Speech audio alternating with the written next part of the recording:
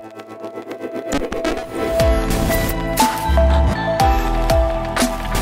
What's up guys, welcome back to HMHT. My name is Ben, your host of course, and today Apple has released WatchOS 7.5 Beta 2. At the time I'm recording this video, fortunately this update is available to developer beta testers and to public beta testers. So that means that regardless of the profile you have, you can easily go into the settings of your Apple Watch and update this over the air my screen sort of blacked out. There could be some sort of bug that came with this update but i'll try to just close off everything and see whether that shows up. So i was saying you can easily go into the settings and go to general and go to software update whether you have a public beta or a developer beta since this is available to everyone. And obviously i'm going to show you some other updates that apple released today as this is not just all that it was released. So you can see that we have iOS 14.6 beta 2 this was released today. And also we have iPadOS 14.6 beta 2 and watchOS 7.5 beta 2 and also tvOS 14.6 beta 2 all these updates were released today. However today there was no macOS Big Sur 11.4 beta 2 update that came out. Now for me on my Apple Watch Series 6 that you are seeing here the update size actually came in at around 132 megabytes and I was updating from watchOS 7.5 beta 1 you could be seeing a different update size depending on the version that you're coming from. Now if we go into settings and go to the about this watch section you can see the new build number that we have right there and as you can see it's 18T55 55C. So we have a build number that has a C at the end and in terms of stability we are somewhat a little bit off from the final version or from an A build number which is one of the best in terms of stability. So C is the end letter that we have. And now let's talk about the new features and changes that came with this watchOS 7.5 beta 2 the first one that I would like to mention has to do with maps. So if you go into maps and you are in Seattle or California you now get cycling directions in those regions. So that's something that you can always check out if you are in those areas.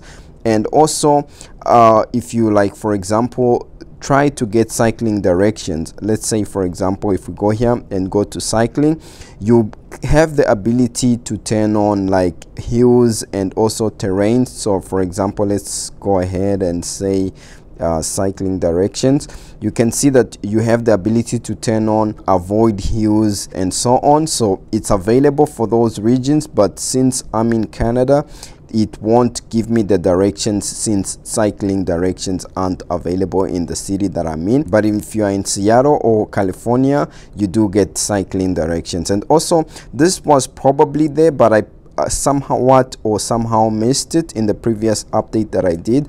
But obviously you see that in maps when you go to search the first thing that you see is covid-19 testing. So you can click there and automatically to show you the nearest covid-19 testing centers close by in your region or in your local area and you can easily get destination and it will show you that whether there is walking directions driving cycling or by uh, transit or by bus or train. So that's something that i had not mentioned previously but it's something that's here. Another thing that i would like to highlight that also came to ios 14.6 beta 2 has to do with the ability to update over the air. So this is not something that's officially here. It was mentioned in the code of iOS 14.6 beta 2 and also watchOS 7.5 beta 2 so in future instead of having to connect like to Wi-Fi in order to do an update you could actually be able to update over cellular if you have the cell version of the Apple Watch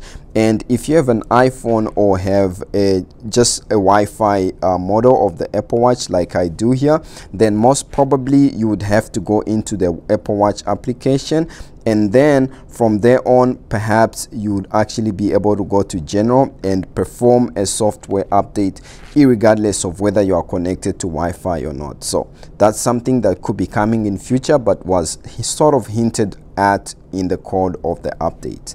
Another thing that i uh, would like to mention has to do with some podcast wording changes. Now on beta 1 of watchOS 7.5 I did mention that there were some podcast wording change but they sort of hinted at subscriptions. And also with this watchOS 7.5 beta 2 very minor wording changes were sort of hinted at. And this could mean that subscriptions or podcast subscription could be coming to some sort of subscription bundle. So keep an eye out for that in future if you use the podcast or listen to a lot of podcasts another thing also that i would like to highlight has to do with audio connection. So if you go to your control center here and go up and just touch here you can see that you can select or connect an audio device and before this was sort of a little bit jerky. It wasn't working as supposed to but i tested out if you have an external speaker or a HomePod or basically a device that you'd like to connect to. This has sort of been improved. It works a little bit smoother unlike before. Now other than that that's how this watchOS 7.5 beta 2 came in for me on my Apple Watch Series 6 if we go to see the battery let's go into settings and then we'll go back and go for battery right there.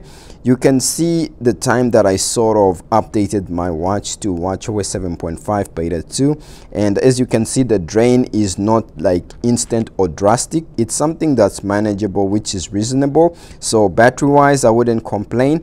And if we go the battery health you can see the maximum capacity that I have right there and it's still on 96% and previously on beta 1 it was on 96% this watch has been on the first beta of watchOS 7 I believe. When I got the Apple Watch Series 6 I knew that I was buying it mainly for watchOS updates. So ever since I got this Apple Watch Series 6 I've been it's been on beta basically. So I've been living life on a beta and hopefully you like the beta videos that I've been making for you here on the channel. Now other than that that's how this update came in for me.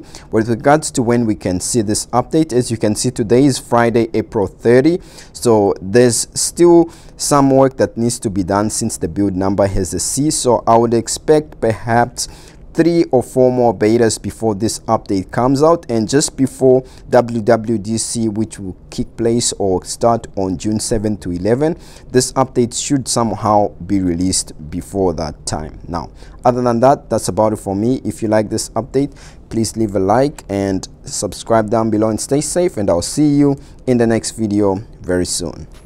Peace